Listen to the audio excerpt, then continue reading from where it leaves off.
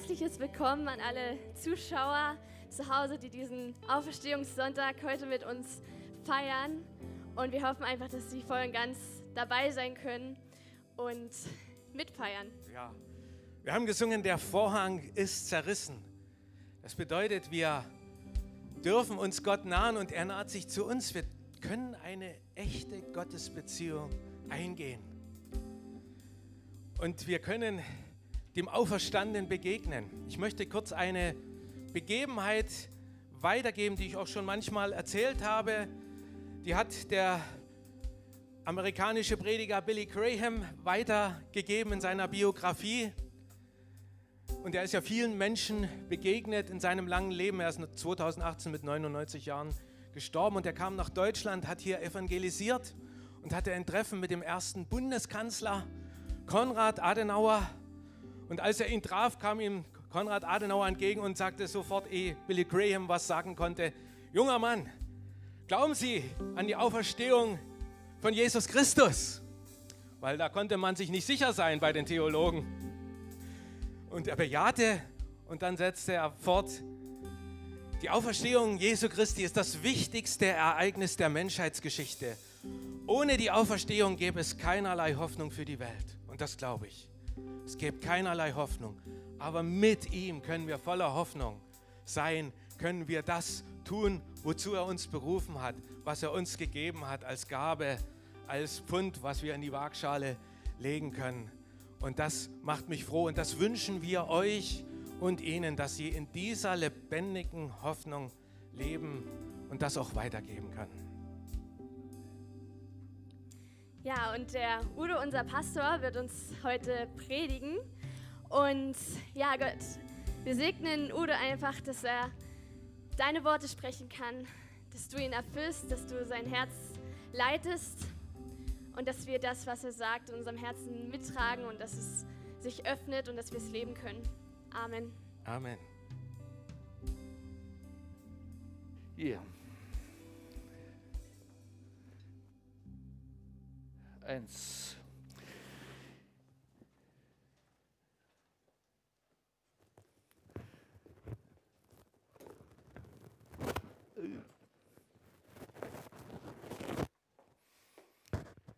Ja, herzliches Willkommen von mir an euch alle. Der Herr ist auferstanden, er ist wahrhaftig auferstanden. Die Botschaft des Tages. Ich habe mein, meine Predigt wieder gerichtet nach der Perikopenreihe, der dritten Perikopenreihe der Evangelischen Landeskirche. Und mein Thema heißt von Angst befreit. Jesus hat gesagt, in der Welt habt ihr Angst, aber seid getrost, ich habe die Welt überwunden. Und immer zu Weihnachten, zu Ostern, zu den Festen wird ja per WhatsApp so werden schöne Bildchen rumgeschickt und mir gefiel dieses Jahr besonders das Bildchen hier. Das fand ich richtig zeitgemäß, also die Unterschrift. Ja, das mit der Ausgangssperre zu Ostern hat noch nie funktioniert. Wir haben es auch wieder erlebt. Eigentlich sollte ja von Donnerstag bis Ostermontag alles dicht sein und es hat aber doch nicht funktioniert. Und so hat es damals nicht funktioniert. Großen Stein, eine Wache davor und man wollte dann sicher gehen, dass Jesus nicht entführt wird und dass dann die Jünger behaupten, er ist auferstanden, aber es kam eben ganz anders. Ich habe schon mal darüber gepredigt, warum der Stein weggerollt wurde, nicht wegen Jesus. Er hat es nicht nötig, dass man den Stein wegrollte, sondern er erschien ja dann später bei den Jüngern danach, nach seiner Auferstehung, einfach so im Zimmer. Er hatte den geistlichen Leib angenommen und der Stein hätte ihn nicht in der Grabkammer aufhalten können. So kann auch kein Theologe sagen, genau wie lange er da drin war. Das weiß einfach niemand. Aber er ist auferstanden. Der Stein ist weggerollt, damit wir hineingehen können. Und ich denke manchmal, oh Herr, roll bei mir auch von meinem Herzen den Stein weg, damit ich hineingehen kann und das Wunder Gottes sehen kann. Roll das doch bei vielen Menschen weg, dass wir hineingehen können und äh, das Wunder Gottes sehen können. Jetzt die Angst vor Corona oder auch den Stolz und die Überheblichkeit und alles, was kommt. Ne? Der Teufel will natürlich äh, Spaltung bringen, will das für sich benutzen. Und der Herr will es auch nutzen zum Guten, zum Segen für uns, die ganze Corona-Krise. Da bin ich mir äh, sicher. Und wir sollten zu denen gehören, die in Segen sind in der jetzigen Zeit, oder?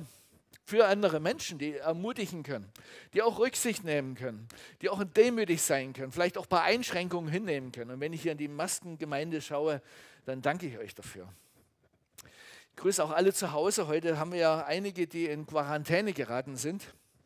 Wisst ihr ja.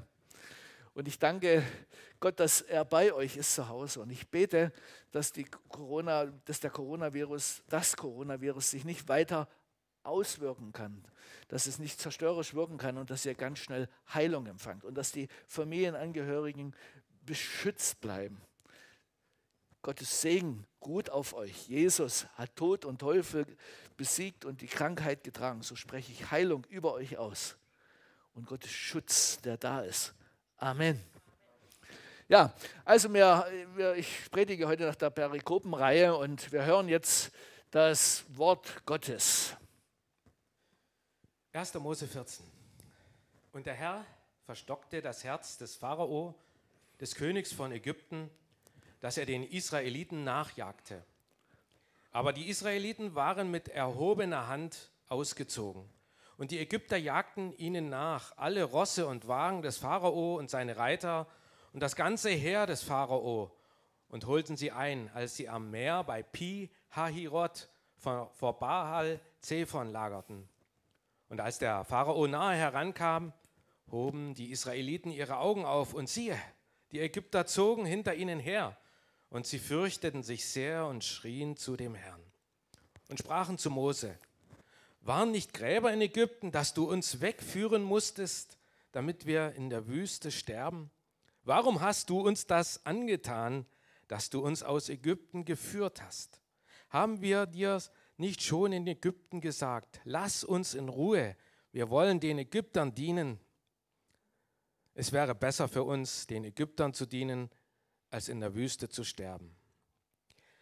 Da sprach Mose zum Volk, fürchtet euch nicht, steht fest und seht zu, was für ein Heil der Herr heute an euch tun wird. Denn wie ihr die Ägypter heute seht, werdet ihr sie niemals wiedersehen. Der Herr wird für euch streiten und ihr werdet stille sein. Da erhob sich der Engel Gottes, der vor dem Heer Israels herzog, und stellte sich hinter sie. Und die Wolkensäule vor ihnen erhob sich und trat hinter sie und kam zwischen das Heer der Ägypter und das Heer Israels. Und dort war die Wolke finster, und hier erleuchtete sie die Nacht, und so kamen die Heere die ganze Nacht einander nicht näher. Als nun Mose seine Hand über das Meer reckte, ließ es der Herr zurückweichen durch einen starken Ostwind die ganze Nacht und machte das Meer trocken und die Wasser teilten sich. Und die Israeliten gingen hinein mitten ins Meer auf dem Trockenen und das Wasser war ihnen eine Mauer zur rechten und zur linken. Und die Ägypter folgten und zogen hinein ihnen nach, alle Rosse des Pharao, seine Wagen und Reiter mitten ins Meer. Und das Wasser kam wieder und bedeckte Wagen und Reiter, das ganze Heer des Pharao das ihnen nachgefolgt war, ins Meer, sodass nicht einer von ihnen übrig blieb. Aber die Israeliten gingen trocken mitten durchs Meer, und das Wasser war ihnen eine Mauer zur rechten und zur linken. So errettete der Herr an jenem Tage Israel aus der Ägypterhand. Da nahm Miriam, die Prophetin, Aarons Schwester, eine Pauke in ihrer Hand, und alle Frauen folgten ihr nach mit Pauken im Reigen. Und Miriam sang ihnen vor, Lasst uns den Herrn singen, denn er ist hoch erhaben. Ross und Reiter hat er ins Meer gestürzt. Okay, die letzte Bibelstelle hatte ich dann doch nicht. Ich dachte, ich habe sie. Manchmal denkt man, und es ist alles anders. Okay, wir haben es gehört zum Schluss der Lobpreis der Miriam, die dann äh, Gott die Ehre gegeben hat nach dieser mächtigen Tat. Sie ging durchs Meer hindurch. Ich denke da an den Song von Nimm 2. Kennt ihr noch? Hey, oh Mr. Pharao. Und dann, bei, dann geht das irgendwie so, bei den äh, Ägyptern hat es nicht mehr funktioniert. So ungefähr, genau. Sicherlich äh, eine sehr wichtige Bibelstelle. Ich war aber überrascht, dass sie jetzt zu Ostern kam. Aber da der Heilige Geist mir gesagt hat, Udo, predige mal die Perikopenreihe, du lernst dabei viel, ähm, habe ich gesagt, okay, das mache ich. Und ich habe mir natürlich über Wochen schon Gedanken gemacht, Herr, warum, äh, was soll man da zu Ostern sagen? Wie bringt man das in Verbindung? Warum haben das auch geistliche Leute ausgesucht fürs Osterfest? Und ich bin fündig geworden. Erstens mal ähm, sagt der Korinther, steht im Korinther 10, Vers 1, ist uns das Alte Testament zum Vorbild und zur Warnung gegeben. Das Alte Testament ist also absolut wertvoll und gleichwertig dem Neuen Testament. Denn Gott ist derselbe gestern, heute und in Ewigkeit. Nur, dass wir im Neuen Testament, im neuen Bund ein anderes Verhältnis sogar haben, ein grundsätzlich anderes absolut verändertes Verhältnis, denn wir sind Kinder Gottes, wir sind versetzt in sein Reich. Jesus hat für uns bezahlt. Wir kommen nicht in das Gericht, Völkergericht, äh, Schaf oder Böcke, kommen wir gar nicht hinein. Steht, hat jedenfalls Jesus gesagt im Johannesevangelium äh, Kapitel 5. Ja, also das ist ein völlig anderes Verhältnis haben wir und das ist ganz wichtig dass du zu dem mächtigsten aller Mächtigen, was es überhaupt gibt, ein gutes Verhältnis hast. Und wir haben ein tolles Verhältnis. Wir dürfen sagen, aber lieber Vater, der Heilige Geist sagt, du bist ein Kind Gottes. Und dieser Vater im Himmel liebt dich mehr als sonst irgendwas existiert. Wir sind nach seinem Bilde geschaffen, alle Menschen, aber wir sind seine Kinder und wir sind in sein Reich versetzt. Wir gehören ihm. Okay, also das ist erstmal wichtig vorwegzunehmen, aber es ist uns zur Warnung, zum Vorbild gegeben. Ja, das Alte Testament bleibt daher für mich total wertvoll, weil Gott derselbe ist. Wie handelt Gott? Was kann ich daraus lernen? Natürlich habe ich gesagt, Heiliger Geist, auch im Neuen Bund, ich bin erfüllt mit dem Geist Gottes. Im Alten Testament äh, waren das die Propheten, die Richter, die Könige. Und jetzt ist es auf alles Fleisch ausgegossen. Und ich bin so dankbar für Pfingsten. Ich sage, Heiliger Geist, was soll ich jetzt mit dieser Bibelstelle in Bezug auf Ostern anfangen?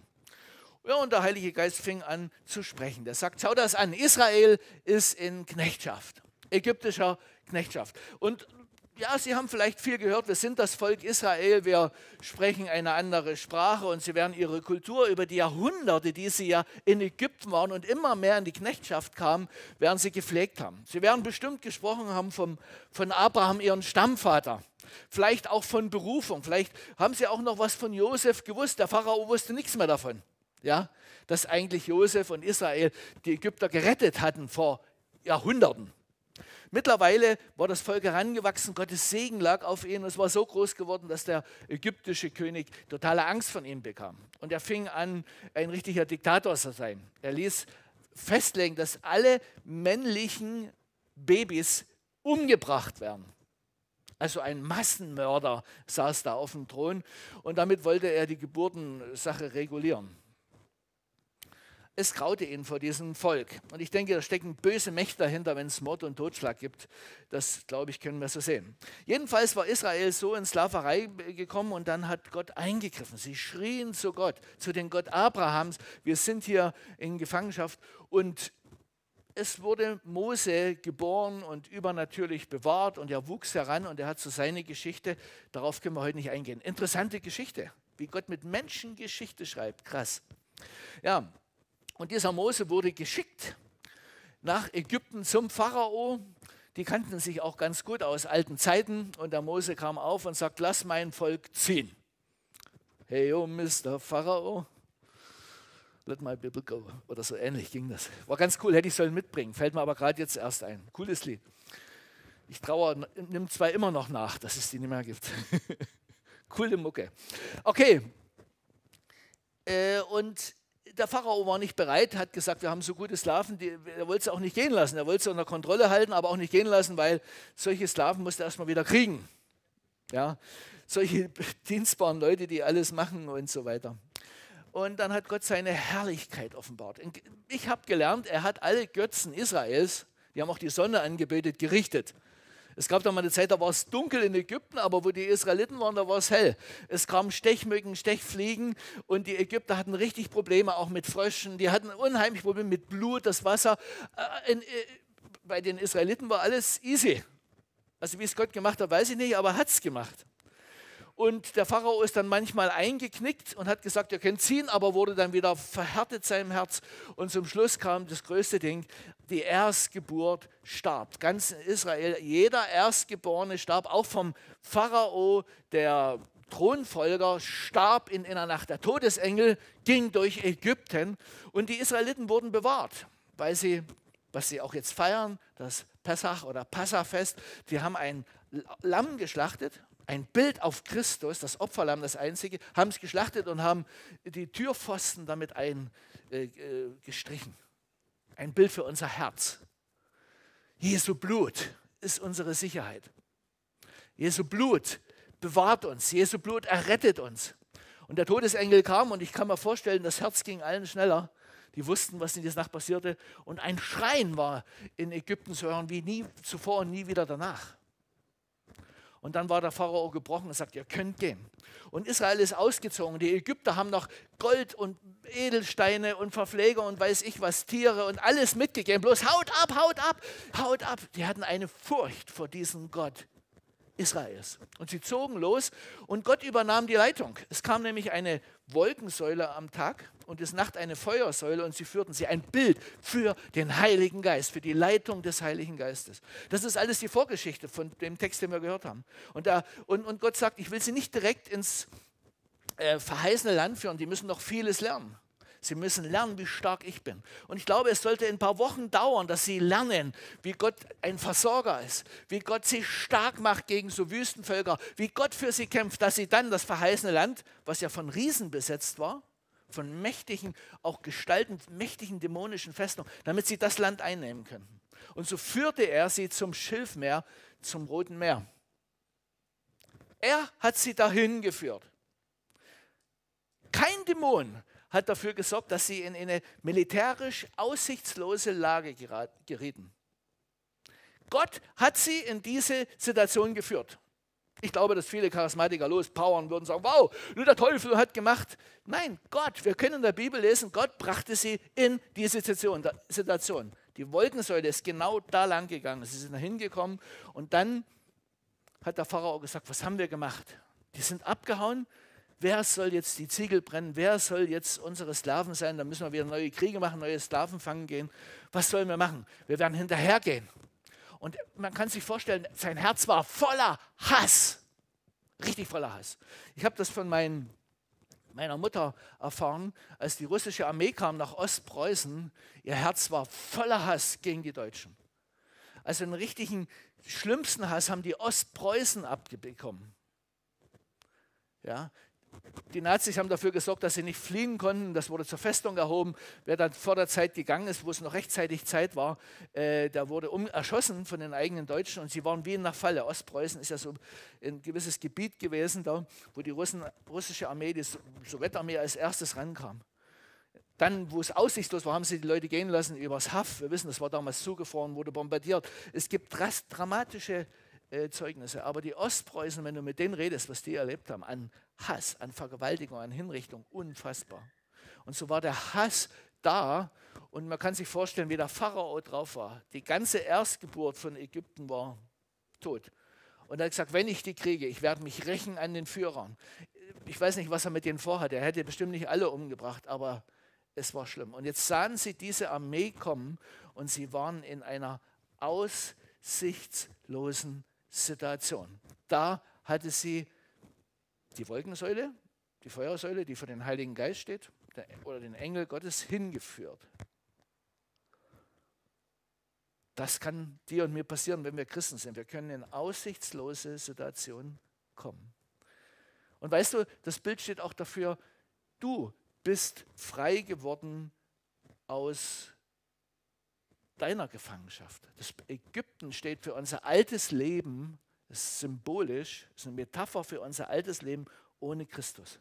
Die Menschen, die Jesus nicht haben, die leben in Ägypten und sie sind ähm, Sklaven. Dazu will ich noch was dann erzählen. Und Mose kam an und hat ihnen gesagt, hey, ich erinnere euch, es gibt einen Bund zwischen euch und Abraham. Ich erinnere euch an Josef. Und jetzt ist die Zeit reif geworden, aufzustehen, die Sklaverei zu verlassen.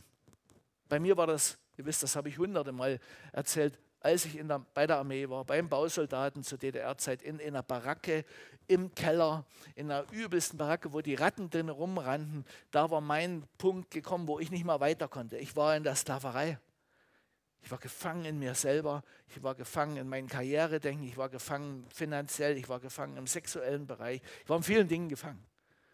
Und dort bei der Armee habe ich Ägypten verlassen, wo es mir richtig dreckig ging. Bei der Armee richtig voller Hass war ich, wirklich voller Hass. Und ähm, wenn du Jesus dein Leben anvertraut hast, in, das bedeutet auch, ich ordne mein Leben unter deine Herrschaft, Jesus, dann ist er dir ganz persönlich begegnet. Oder du bist bloß hier, weil deine Eltern dich hingebracht haben, mit hergebracht haben, weil du hier in der Gemeinde ganz nette Leute triffst, weil du hier Annahme hast. Jeder hat seinen Grund, warum er hier ist. Aber wenn Jesus dir persönlich begegnet ist, dann bist du wegen Jesus hier. Amen. Und ich habe heute einen Interviewgast, Bruder aus unserer Gemeinde in Sem, und den möchte ich mal ganz kurz nach vorn bitten, ja.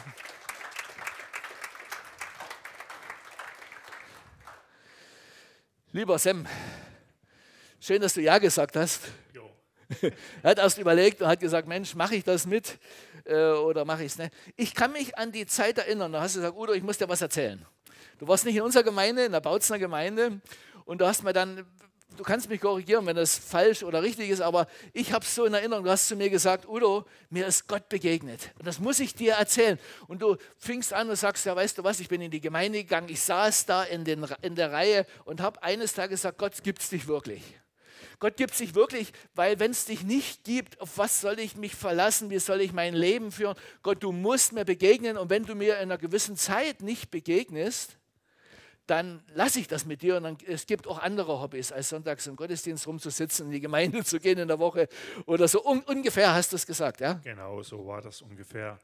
Also ich habe irgendwann gemerkt, ich bin tot, also ein toter Christ. Ich gehe halt in den Gottesdienst, bete vorm Essen und so, habe in der Gemeinde meinen Dienst gemacht. Aber das war's und mir wurde einfach bewusst, gibt es Gott oder gibt es Gott nie? Ich weiß nicht, ich denke, Gott hat mir das einfach gezeigt, dass ich mal drüber nachdenke. Und da habe ich manchmal in den Himmel geguckt, hm, irgendwo dort oben musste doch sein, ich weiß es nie. Und da habe ich einfach mal zu Gott geschrien und gesagt, Gott, wenn es dich gibt, dann musst du dich mir zeigen, Ende des Jahres, sonst ist es vorbei. Dann kann ich meine Zeit auch anderweitig verbringen. Genau. Du könntest ja Handys reparieren oder so oder irgend so. Genau, was auch Genau, immer. oder in unserem Ja. Motorradclub kommen oder Ja, irgend so was Sinnvolles, ja. Hast also Gott die Pistole an die Brust gesetzt. Genau. Und wie ging das nur weiter? dann hab, ist mir irgendwie in den Sinn gekommen, dass ich einfach mal meinen ganzen, so was ich, ich habe viel Medien konsumiert. Also ich war ein Meister in illegalen Downloads, Filme, Musik, Spiele und alles, habe das auch selber genutzt und auch anderen weitergegeben. Unter anderem war ich auch schon seit über 20 Jahren süchtig nach Pornografie, hat man das halt auch mitgenutzt. Das Internet gibt es ja alles und niemand merkt's. Und da habe ich Naja, mir mal niemand, würde ich nicht sagen. ja, also Im. Internet bist du nie allein. Naja, wenn du schlau genug bist, dann kriegt man das schon hin. Aha. Ja.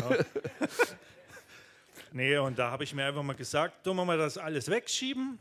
Wenn Gott sich nie meldet, dann kann ich das ja einfach weiter nutzen und alles läuft weiter wie vorher. Und da habe ich halt dann mich auch mal angefangen mit ein paar Büchern, ein paar christliche Bücher gelesen. angefangen mit Lobpreismusik zu hören, habe ich sonst nie gemacht. Da dachte ich, nee, ich höre doch keine Lobpreismusik, das ist doch langweilige Musik.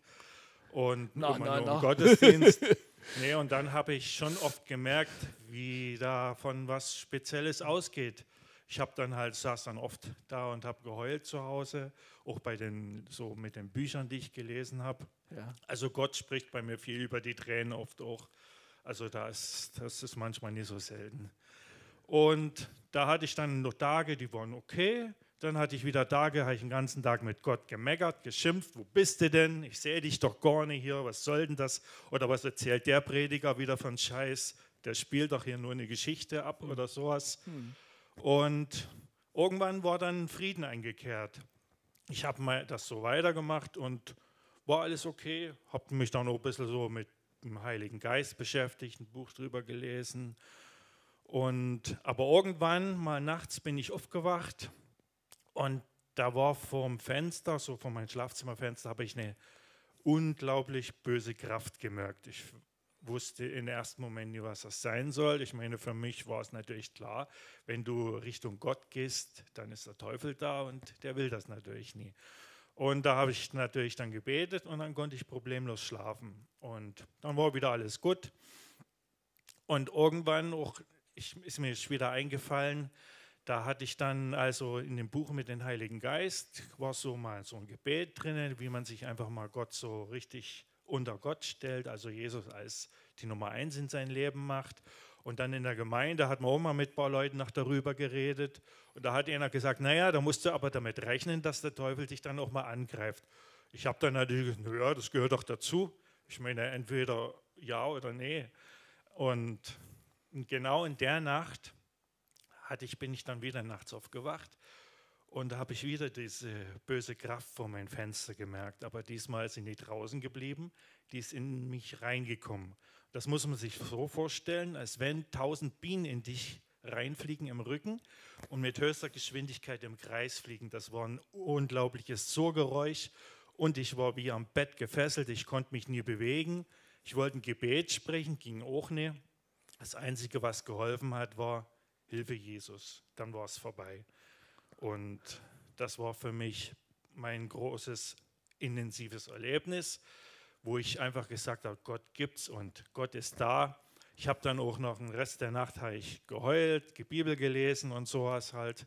Und dann am nächsten Tag zum Gottesdienst, da ich hatte Beamerdienst, da musste ich die ganze Zeit heulen, hat zum Glück keiner gemerkt, weil der Feierabendgottesdienst im Bautzen ist ja immer schön abgedunkelt. Und da hatte ich noch Glück, dass ich immer so die Lieder weiterschalten konnte. Aber ich habe schon den ganzen Gottesdienst die volle Kraft Gottes gespürt, wie noch nie. Also das kann man sich nie vorstellen, das muss man erlebt haben. Und danach war ich halt noch beten mit dem Pastor. Und so am nächsten Tag war dann, wo man aufgewacht ist, das war so ein unglaubliches Gefühl, das kann man nie beschreiben. Also so in der Liebe Gottes war man drin, das ist so unglaublich. Also das muss man erlebt haben. Es gibt keine Definition, wo man sagen kann, das war so und so und so ist das. Und kann immer wieder nur sagen, Gott ist so gut und so stark und Gott ist immer da und wenn man sucht, dann findet man ihn. Und das ist das Unglaublichste, was Gott hat. Und Gott, alles, was man scheiße auch baut, das nimmt Gott auch einfach weg. Und ich sage auch immer, was man vielleicht denkt im ersten Moment, jetzt zum Beispiel die ganzen Filme und alles, da, irgendwann hatte ich dann halt auch den Eindruck, mal alles zu löschen und so, dann dachte man, das ist ein Riesenopfer. Aber das ist am Ende kein Opfer. Du gibst am Ende Scheiße ab und kriegst Gold und Diamanten zurück. Das ist so.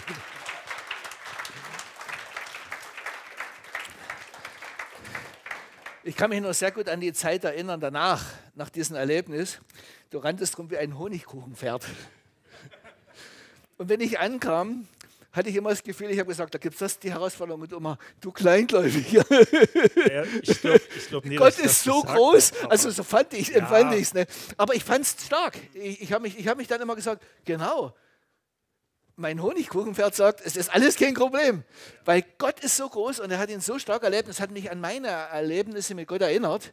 Und das sollen wir ja. Wir sollen nicht zurückschauen auf unser altes Leben, aber auf die Taten Gottes dürfen wir blicken. Ne? Und das trägt durch. Wie geht es dir denn jetzt damit? Ich meine, es ist ja ein bisschen Zeit vergangen, es ist ein bisschen alles verblasst dann auch. Ne? Äh, Wie geht es dir ist jetzt? auch immer, also man hat auch Zeiten, wo man denkt, irgendwie jetzt Gott ist weg. Dann muss man sich einfach, also mir geht es so, ich muss mich einfach wieder Gott nahen, also mich mit Gott beschäftigen noch. Ja. Das ist einfach wie in einer Beziehung. Du musst die Beziehung pflegen, weil wenn du dich dann wieder anfängst mit anderen Dingen zu beschäftigen, das lenkt dich wieder ab, bringt dich wieder weg. Das heißt nicht, dass ich jetzt ja nie was haben kann oder ein Hobby nie ausüben kann. Das, du kannst auch ein Hobby mit Gott zusammen ausüben oder einfach Sachen machen, die dir Spaß machen. Aber ähm, wichtig ist, denke ich mal, wirklich dran zu bleiben an Gott und auch mal zu hören, wenn er was sagt. Halt. Das ist halt, ich sage auch immer, wir wollen auch immer, dass Gott zu uns spricht, aber wollen wir auch immer das tun, was Gott sagt? Genau. Das ist dann immer die zweite Variante, Ja, ja. die zweite Seite. Und Aber stark, wie Gott vorbereitet hat auf die Ehe als Familienvater. Genau. Da ist ja noch mehr Verantwortung als Genau, geistlicher genau. Leiter auch deiner das Familie. ist dann auch immer nie leicht, das alles unter einen Hut zu bringen, Ja. Zeit mit Gott zu verbringen, Die sich um die. Familie zu kümmern. Und auch wenn, da kommt dann halt der Kleine und zieht an der Hose, Genau. Papa! da kann man sich dann Aber Gott hat. Verständnis. Du ziehst an seiner Genau. Hose und dein Kleiner Das an, an deiner. Genau, Dankeschön. bitte.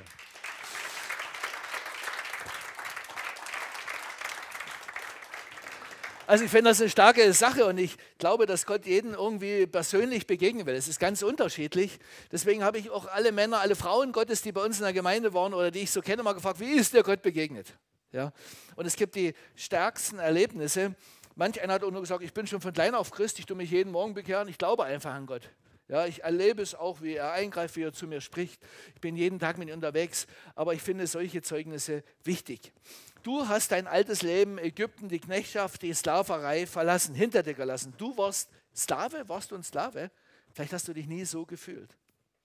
Aber die Sklaverei bedeutete bei mir zum Beispiel auch Jähzorn, Habsucht, ich und meine Bedürfnisse, Finanzen, Stolz, was denken Menschen von mir, Egoismus, was dient mir, Rebellion, war immer ein kleiner Rebell gewesen. Rebellion, ob das äh, dann zu Hause war, wo ich Teenager wurde, in der Schule natürlich, auch provoziert, später in der Band, wo ich war.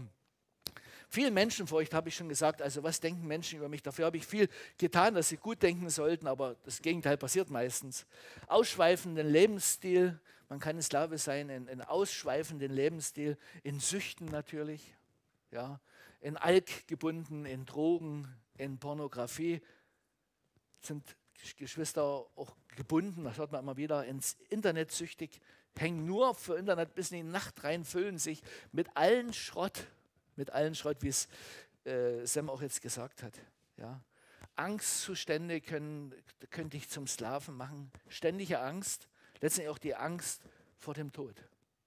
Aber Jesus sagt, der Tod ist verschlungen im Sieg. Das feiern wir heute zu Ostern. Wenn du Jesus angenommen hast und das kannst nur du selber wissen, ob Jesus wirklich dein Herr ist und sagst, du bist die Nummer eins, dir folge ich nach, mein Leben gehört dir, dir vertraue ich. Das hat auch was mit Vertrauen zu tun. Wenn ich Christ bin, dass ich äh, Gott vertraue. Ja? Das kannst nur du wissen, ob du dein Leben Gott anvertraut hast. Wenn nicht, will ich zum Schluss mit dir beten. Zum Schluss meiner Predigt. Es ist so wichtig, dass du kommst. Ja. Wenn du das getan hast, dann äh, bist du versetzt aus dem Reich der Finsternis ins Reich des Lichtes. Und wo Licht ist, kann Finsternis nicht sein. Ich habe auch so eine dämonische Erscheinung erlebt, dass ein Dämon sich vor mir manifestiert hat, nachdem ich Christ geworden bin. Und ich habe äh, eine ähnliche Erfahrung. Ich habe Jesus geschrien und er war weg. Und danach habe ich einige Befreiungsdienste mitgemacht, wo Dämonen mit mir auch mal versucht haben zu sprechen und so weiter, wo ich Erfahrungen gesammelt habe und immer wieder die Kraft Gottes erlebt habe. Halleluja, das möchte ich nicht missen. Ich will es auch nicht vergessen. Wie stark die Kraft Gottes ist und wie schwach ich gegen so einen Dämon war, das will ich auch nicht vergessen, aber Gott in mir, wie stark ich in Christus bin, wie stark du in Jesus bist. Du bist ein Bürger des Himmels, du bist ein Kind Gottes und Gott, wird, Gott Achte drauf. Wie Israel sein Augapfel ist, so bist du es auch geworden. Wir sind angefropft an Israel. Du bist sein Augapfel. Du bist für ihn absolut wertvoll. Wir haben uns heute früh am Frühstückstisch erst unterhalten, als wir mit dem, oder war das gestern Abend, wir waren mit dem BMW unterwegs und ich, äh, ich habe ja einen BMW, 5er BMW, komplett auf der Autobahn geschrottet. Und es war extrem gefährlich, damals im Winter in die Schneewehe reingefahren. Wir haben uns gedreht auf der Autobahn, der LKW nicht mehr, volle Kanne vorbei, rechts, links. Und äh, es war wirklich total schaden. Es ging noch ein Blinker, der geht da automatisch an. Aber Gott hat seine Engel gesandt und hat uns bewahrt. Und ich bin dankbar, dass wir nicht eine Schramme hatten, nicht einen Kratzer. Natürlich waren wir geschockt erstmal. Wir haben erlebt, wie Gott uns versorgt, wie er unser Versorger ist. Wir sind, sagt die Bibel, mit allen Segen des Himmels gesegnet, weil du ein Kind Gottes bist. Aber vielleicht, und das könnte sein, leiden einige unter uns oder wir alle immer hin und wieder noch an der Ägypten-Mentalität. Die ist nämlich nicht so leicht rauszukriegen. Der Teufel konnte nicht verhindern, dass du Christ wurdest. Er konnte auch nicht verhindern, dass du dein Ägypten verlassen hast. Er konnte das nicht verhindern. Allerdings, und das sagt die Bibel, er verfolgt die Christen mit Hass. Er will sie wieder versklaven, wie der Pharao mit seiner Armee hinterherzog. Und der Teufel hat auch eine Armee. Wir lesen es in der Bibel, er ist der Fürst, Satan ist der Fürst. Der Teufel ist der Fürst und es gibt Dämonen, es gibt da auch eine gewisse Hierarchie und es gibt auch sein Fußvolk Dämonen. Und Menschen werden äh, von diesen bösen Mächten ähm, versucht, er will sie versklaven, er will die Menschen missbrauchen. Das Ziel ist, er will sie umbringen. Das Ziel vom Satan ist umbringen. Er ist ein Dieb und ein Mörder. So lesen wir es auch in der Bibel. Äh, hier ist es, so seid nun Gott untertan, widersteht den Teufel, so flieht er von euch. Naht euch zu Gott, Sam hat es erst gerade wunderbar gesagt, so naht er sich zu euch. Der Teufel will uns verhindern, dass wir uns zu Gott nahen. Er will uns ganz viele Dinge wichtig machen. Er will uns, dass wir uns mit Internetsachen äh, füllen, mit Fake News, aber vielleicht auch mit wahren. Mag alles sein, dass es das und das alles gibt. Aber ich frage dich immer wieder, welche Frucht hat es, wenn dich damit füllst? Wenn du nur so denkst, welche Frucht hat es? Es kommt Angst, du hast keine Zeit mit Gott, du surfst im Internet die Nacht rum, du füllst dein Herz. Ich habe heute früh schon wieder, äh, wo wir hier gebetet haben, hatte ich hier eine WhatsApp drauf, sagt, du denkst, das lese ich jetzt vom Gottesdienst, ich denke gar nicht dran. Ich lese es vielleicht mal die Woche, mal sehen. Warum soll ich mich mit Sachen das Herz füllen? Ich sage, ich bin hier, um mich mit Gottes Wort zu füllen. Und das ist so eine wichtige Sache, nahe dich zu Gott. Und wie gesagt, wir sollen den Teufel widerstehen.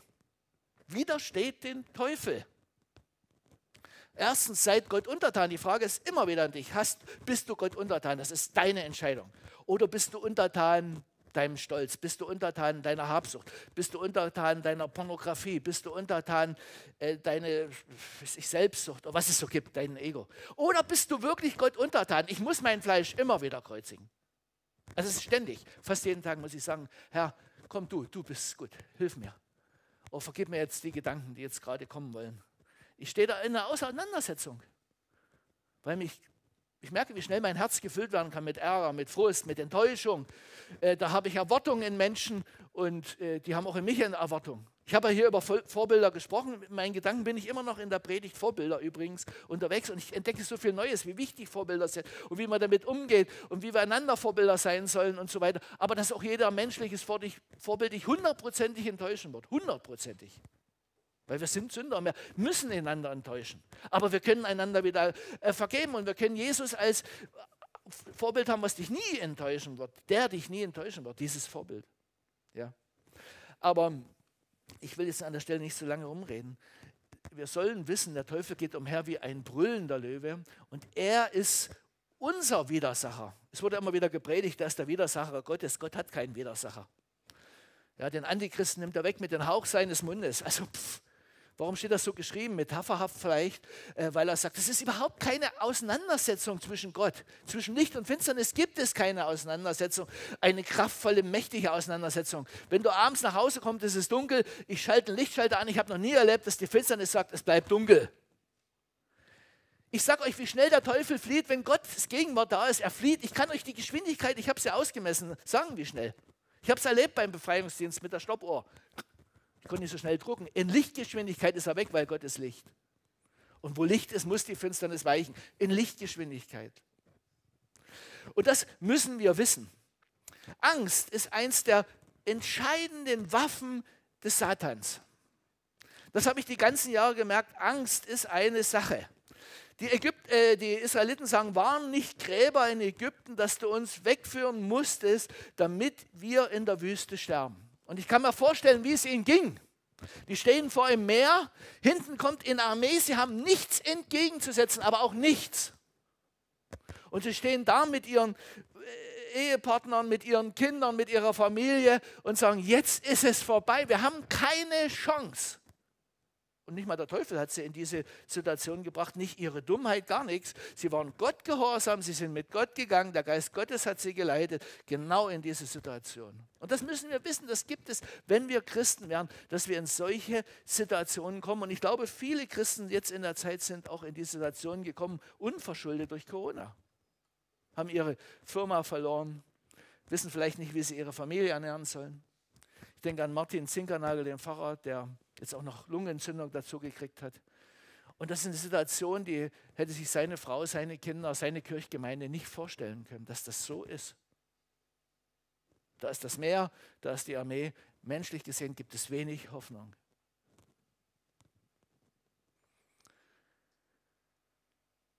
Israel befindet sich in so einer Situation. Gott hat sie in die Situation gebracht. Bei großen Herausforderungen erwarte große Taten Gottes. Bei kleinen Herausforderungen kann man oft noch sagen, haben wir selber gemanagt, haben wir irgendwie selber in die Reihe gebracht. Aber bei großen Herausforderungen erwarte ein großes Eingreifen Gottes. Nochmal, bist du in einer richtig schwierigen Situation?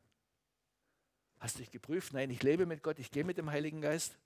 Ich habe mein Leben Gott gegeben, du bist in einer Situation, dann erwarte große Taten Gottes. Dort, wo kein Mensch dir helfen kann vielleicht. So ist es gewesen, wenn du in die Bibel reinguckst. Sei auch froh, wenn du einen Mose an deiner Seite hast. Sam war die, damals so für mich der Mose. Alles kein Problem. Honigkuchenpferd.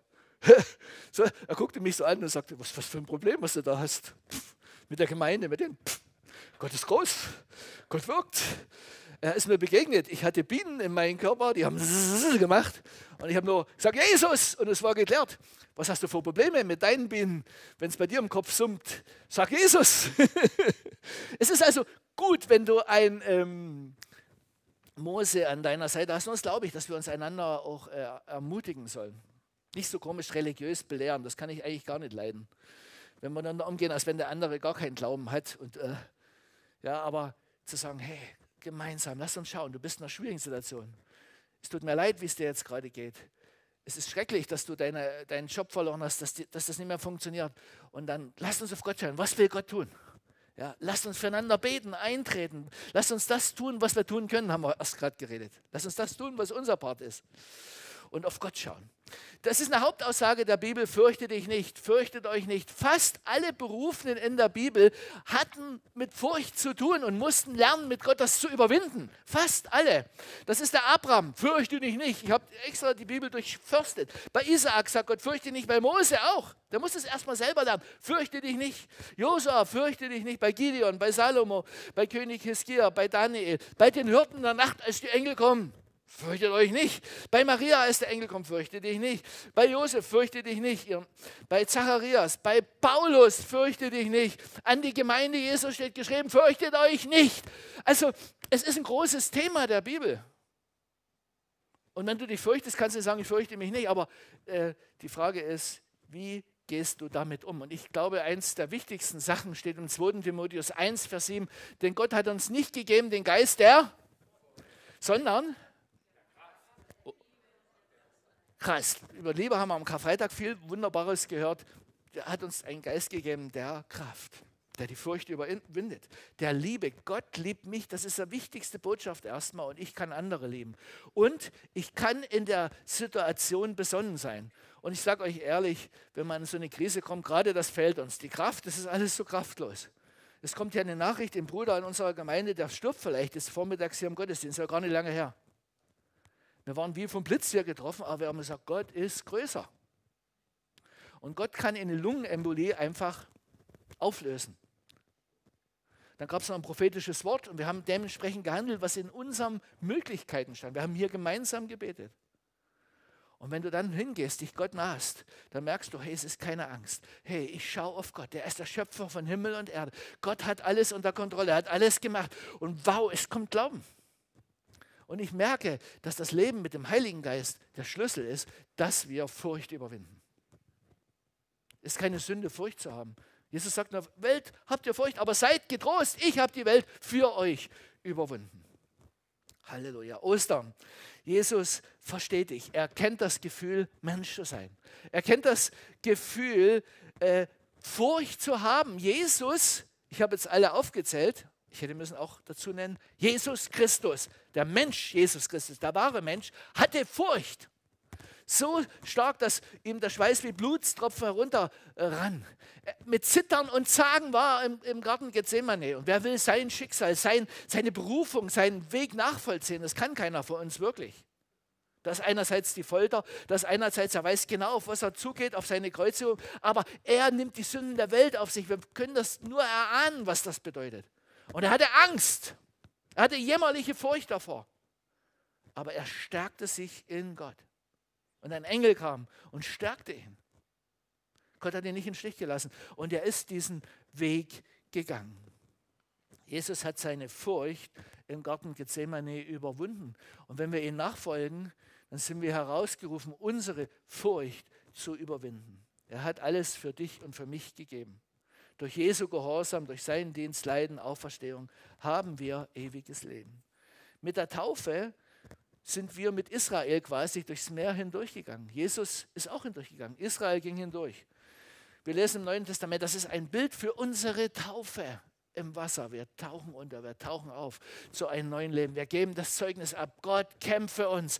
Gott hat für uns den Weg in den Himmel frei gemacht, wie er den Weg ins verheißene Land frei gemacht hat für Ägypten. Und Jesus ist auch diese Taufe durchgegangen. Er sagt ja, wie habe ich Furcht vor der Taufe? Die Taufe am Kreuz und seine Auferstehung. Er hat den Weg bereitet. Und das glaube ich zutiefst.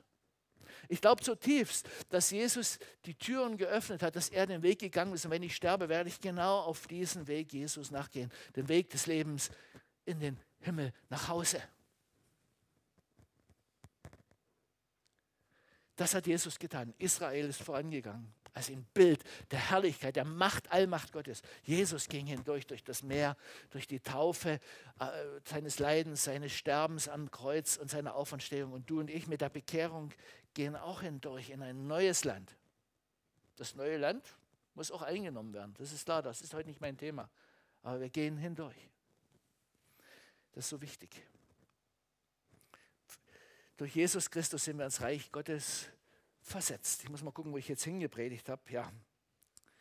Ich komme schon so ziemlich ans Ende meiner Predigt. Durch Jesus Christus sind wir ins Reich Gottes versetzt. Heute die Osterbotschaft ist, fürchte dich Lass uns nochmal sagen, schau der Nachbar nochmal an und sag, hey, fürchte dich nicht. Aber ihr habt es nicht hey gesagt. Ihr müsst sagen, hey, komm mal, fürchte dich nicht.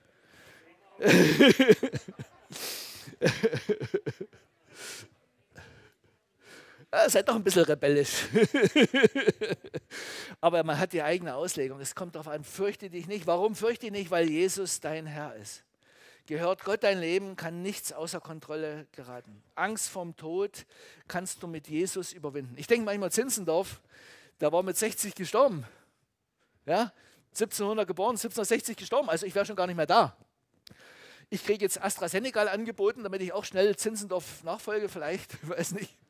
Über 60 kriegt man ja AstraZeneca angeboten, unter 60 wollen wir doch lieber ne, riskieren. Was soll man davon halten? ich bin da auch sehr äh, relaxed in der ganzen Sache.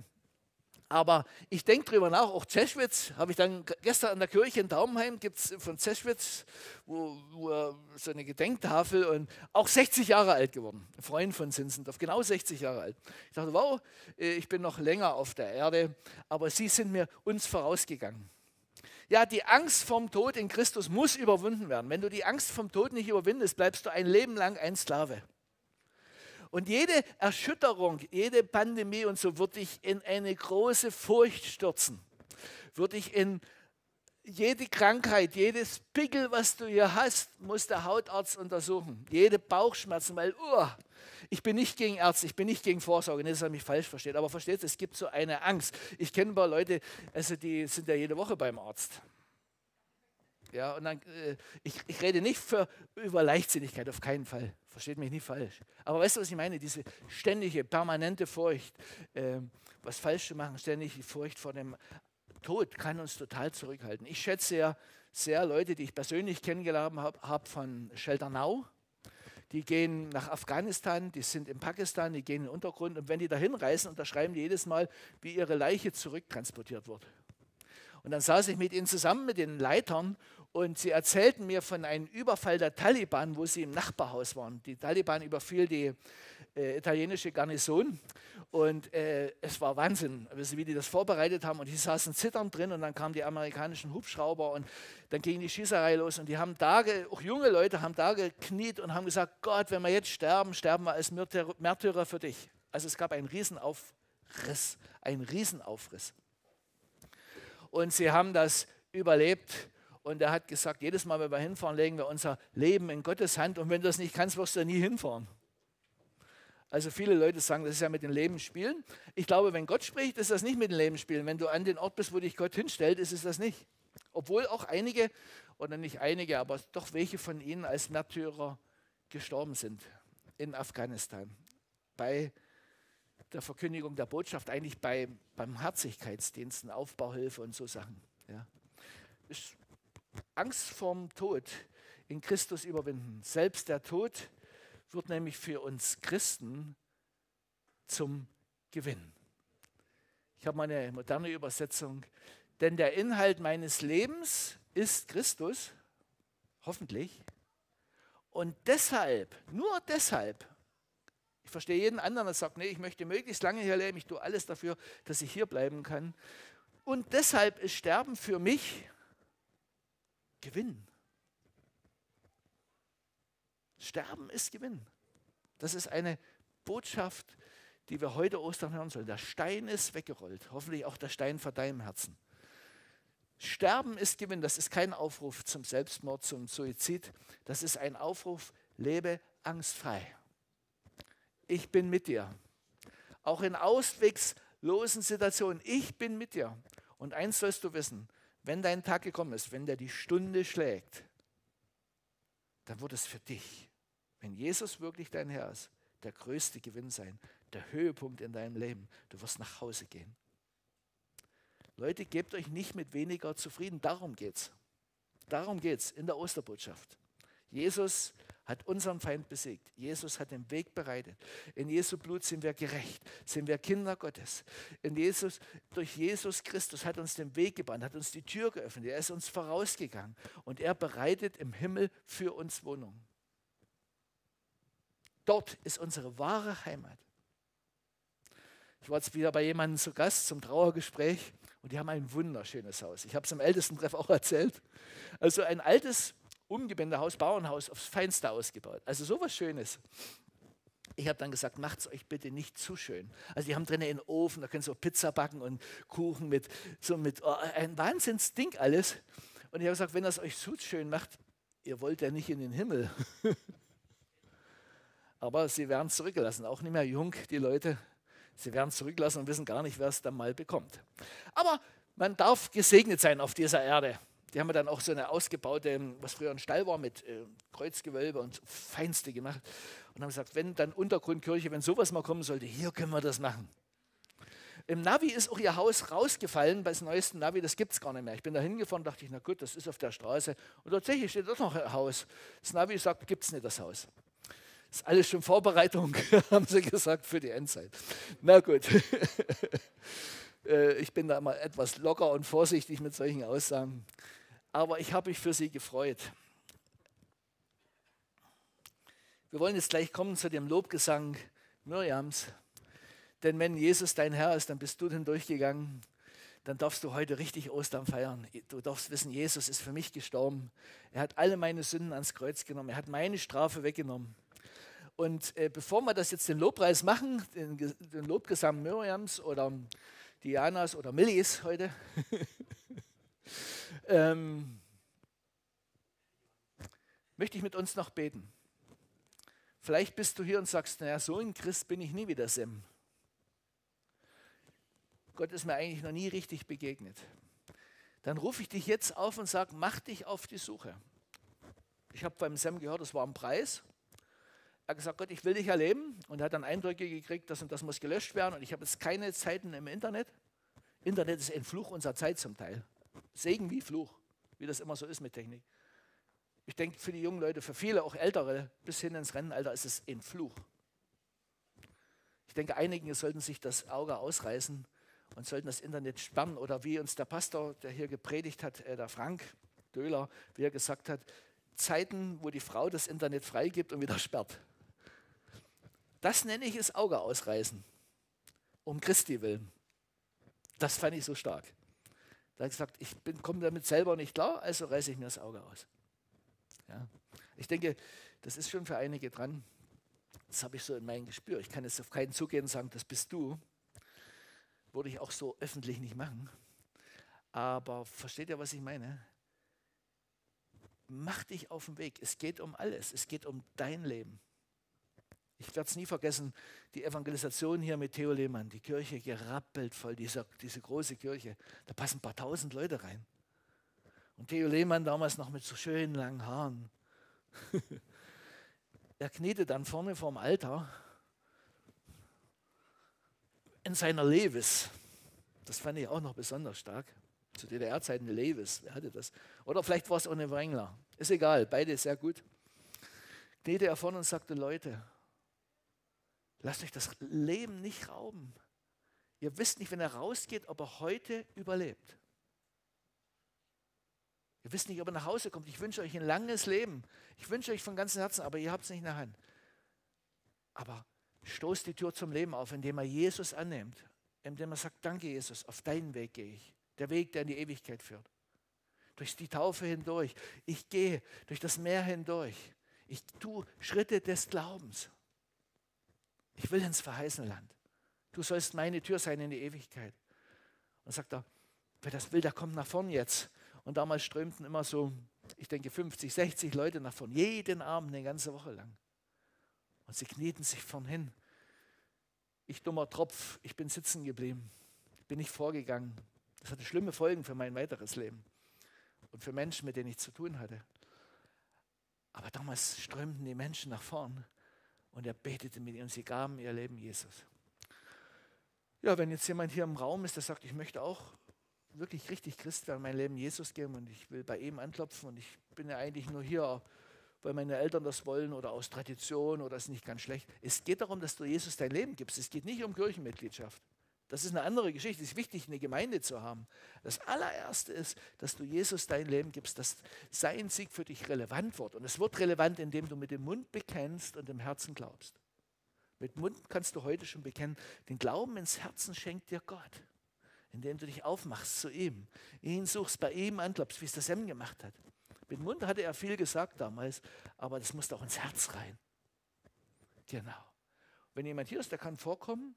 Gott liebt der absolut die Demütigen, sich mit mir hinknien. Wenn du zu Hause jetzt berührt bist, da sieht dich niemand außer dein Hamster, deine Katze, dein Hund. Hauen mal raus, der soll dich jetzt nicht stören. Ganz kurz vor die Tür. Deine Frau ist noch da, ja, oder dein Ehemann. Dann überwinde dich und sag, Gott ist mir jetzt wichtiger, ich will das jetzt machen. Dann knie dich mit mir hin. Und wie gesagt, wenn jemand hier ist, komm jetzt schnell nach vorn. Gott liebt absolut die Demütigen. Dann bete ich mit dir.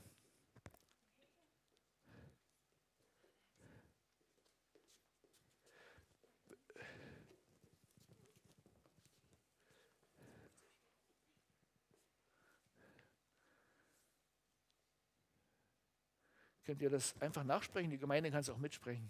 Ja? Lieber Herr Jesus, an diesem Ostersonntag komme ich zu dir. Und ich kniee vor dir. Und ich sage, Jesus, bitte vergib mir alle meine Sünden. Alles, was ich falsch gemacht habe. Alle meine bösen Worte. Alle meine bösen Gedanken. Es tut mir total leid. Ich hätte Strafe verdient. Aber ich danke dir, Jesus Christus, dass du meine Sünden auf dich genommen hast. Dass du für meine Sünden bezahlt hast. Du hast mich mit deinem Blut reingewaschen. Ich danke dir dafür. Und ich sage dir, Jesus Christus, von heute an gehört mein Leben dir. Dir will ich nachfolgen. Du sollst die Nummer eins in meinem Leben sein. Und ich bitte dich, Jesus, dass du mir durch deinen Heiligen Geist begegnest. Dass ich im Herzen an dich glauben kann. Dass ich dich mit meinen geistigen Augen sehen kann und mit meinen geistigen Ohren hören kann. Lieber Heiliger Geist, erfüll mich jetzt, dass ich als frohes Kind Gottes leben kann und ein Knecht, eine Magd Jesu bin. Ja. Amen. Amen. Gebt einen Beifall unserem Herrn.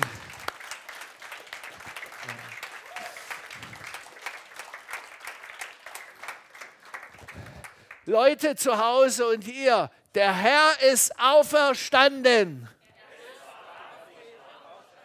Amen. So, und lasst uns jetzt in den Lobpreis und in den Jubel Gottes eintreten mit der Miriam zusammen.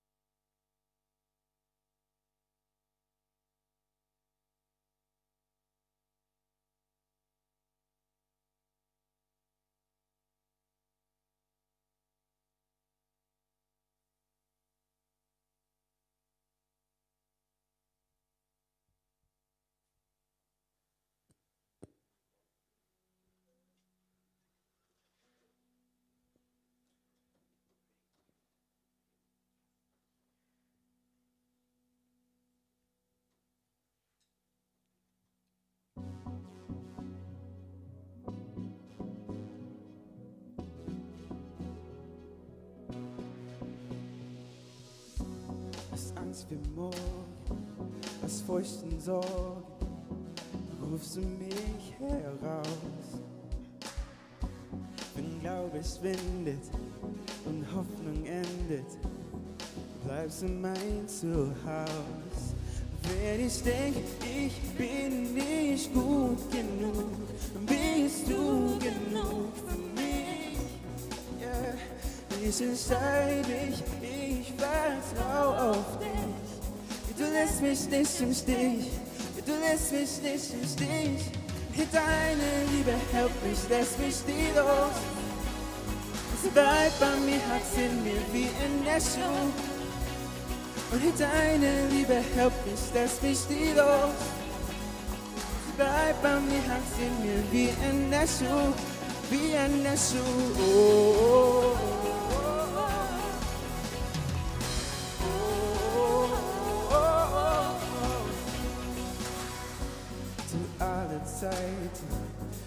nicht begleiten, was du mir versprichst.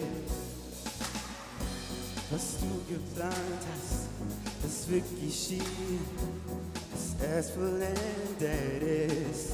Und Wenn ich denke, ich bin nicht gut genug, bist du genug für mich. Ja, ich entscheide mich, ich vertraue auf lässt mich nicht im Stich, du lässt mich nicht im Stich. Deine Liebe hält mich, lässt mich nie los. Bleib bei mir, hat's in mir wie in der Schuh. Und deine Liebe hält mich, lässt mich nie los. Es bleibt bei mir, hat's in mir wie in der Schuh, wie in der Schuh. Oh, oh, oh, oh, oh. Oh, oh,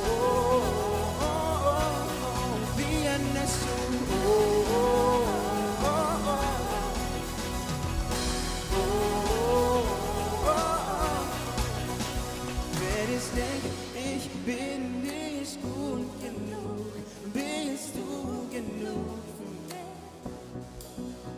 Ich entscheide mich, ich vertraue auf dich. Du lässt mich nicht im Stich, du lässt mich nicht im Stich. Deine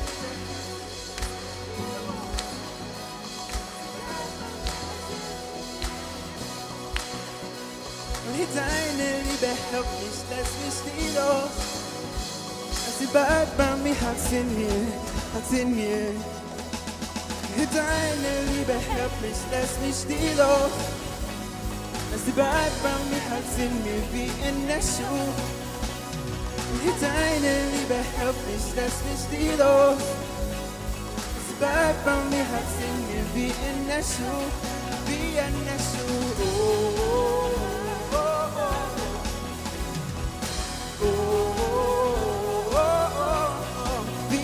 Oh.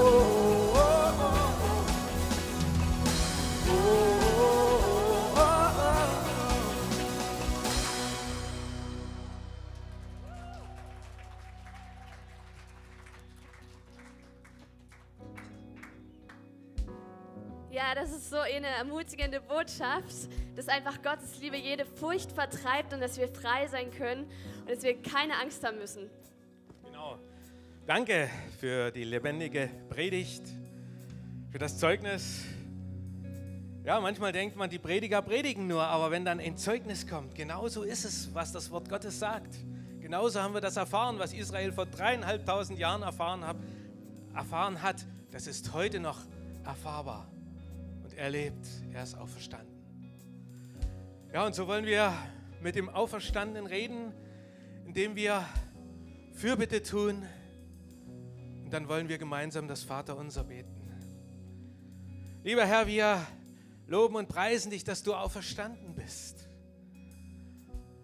Wir danken dir, dass wir dir alles anvertrauen können. Herr, wir tun Fürbitte für die, die in Verantwortung stehen, in den verschiedenen Bereichen des Lebens, in Politik, Wirtschaft, Bildung, Kultur. Herr, sei du mit ihnen. Und wir beten, dass sie Entscheidungen treffen, die verantwortlich in Liebe, in Wahrhaftigkeit getroffen werden, die du segnen kannst. Herr, wir beten, wo vielleicht alte Eltern noch da sind bei uns, dass du es gut mit ihnen machst, Herr. Wir vertrauen dir unsere Familien an, die Kinder, Herr, die vielleicht nicht mit dir gehen, Herr. Wir vertrauen dir unser Land an und wir haben so eine Sehnsucht danach, dass unser Land, dass da wieder mehr gefunden werden, die dir nachfolgen. Du hast gesagt, wenn ich erhöht werde von der Erde, und du bist erhöht worden am Kreuz von der Erde, das Kreuz wurde aufgerichtet und dann bist du erhöht worden und hast dich zur Rechten des Vaters gesetzt, über alle reiche Mächte und Gewalten. Da will ich alle zu mir ziehen, hast du gesagt. Und wir beten, dass du sie zu dir ziehst, Herr. Die Menschen, die uns wertvoll sind. Die Menschen in unserem Sachsenland, Herr. Zieh sie zu dir, Herr. Herr, wir be- beten für die, die in Nöten sind, um die wir wissen, aber auch um die nur du weißt oder andere Menschen wissen, dass du ihnen hilfst, Herr. Und heute Morgen habe ich dein Wort gelesen. Ich will sie herausreißen und zu Ehren bringen. Reiße sie heraus. Du bist der lebendige Herr und wir vertrauen dir alles an, Herr. Und so beten wir gemeinsam hier vor Ort und die ihr zu Hause zuschaut. Vater unser im Himmel, geheiligt werde dein Name, dein Reich komme, dein Wille geschehe wie im Himmel, so auf Erden. Unser tägliches Brot gib uns heute und vergib uns unsere Schuld, wie auch wir vergeben unseren Schuldigern. Und führe uns nicht in Versuchung, sondern erlöse uns von dem Bösen. Denn dein ist das Reich und die Kraft und die Herrlichkeit in Ewigkeit. Amen. Ich spreche euch den Segen Gottes zu. Der Herr segne dich und er behüte dich. Der Herr lasse sein Angesicht über dir leuchten und sei dir gnädig. Der Herr erhebe sein Angesicht auf dich und schenkt dir seinen Frieden. Amen. Und der auferstandene Herr hat diese Worte gesprochen. Ich lebe und ihr sollt auch leben. Amen. So verabschieden wir uns von euch an den Bildschirm. Richtig? Gute Woche, seid gesegnet. Genau. Bis zum nächsten Mal. Tschüss.